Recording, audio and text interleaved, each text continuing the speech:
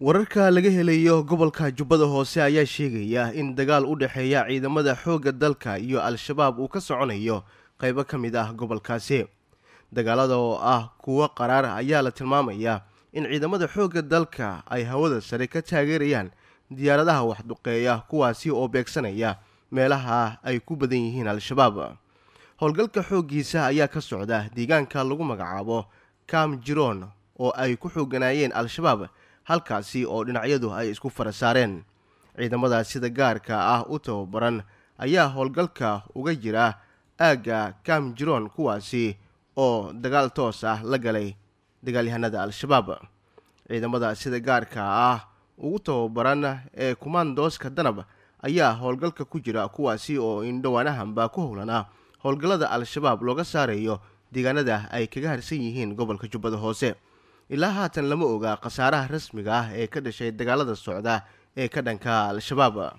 War ka soo baxay ciidamada xoogga dalka ayaa u qornaa sida tan. Ciidanka sida gaarka u tababaran kumaandooska danab ee xoogga dalka soomaaliyeed ayaa wada howlgallo cirka iyo dhulka oo lagu baadigoobayay bay yidhaahdeen firxadka al-shabaab. Howlgalkan oo ka socda deegaanka kam jiroon ee gobolka jubbada hoose ayaa geesiyaasha danab xalay ilaa saakay waxa ay ugu daateen baa layidhi xubnaha al-shabaab geesta kale. War ka soo baxay jubbaland ayaa lagu sheegay in ciidamada maamulka jubbaland iyo kuwa xoogga dalka gaar ahaan kumaandooska danab ah ay howlgal dhowr jihe ah ku qaadeen deegaanka kam jiroon ee gobolka jubbada hoose. Halkaasi oo sida aan xogta ku helina bay yidhaahdeen lagu laayay koox ka tirsaneed al-shabaab. Jab xoogan ayaa gaaray maleeshiyaadka al-shabaab ayaa lagu yidhi warka ka soo baxay jubbaland. Waxaana kooxda laga khaarijiyey baa layidhi ama dadka la khaarijiyey ku jira horjoogayaal sarsare iyadoo dhinaca kalena ay jireen duqaymo xoogan oo sababay in khasaaruhu sii bato.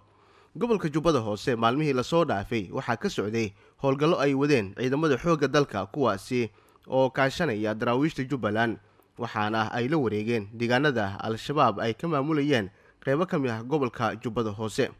Al-shabaab ayaa ku xoogan jubbaland iyaga oo gacanta ku haya gobol dhan oo ka tirsan gobollada hoostaga jubbaland waana jubbada dhexe iyaga oo sidoo kale ku sugan qeybo ka mid ah gobolka jubbada hoose.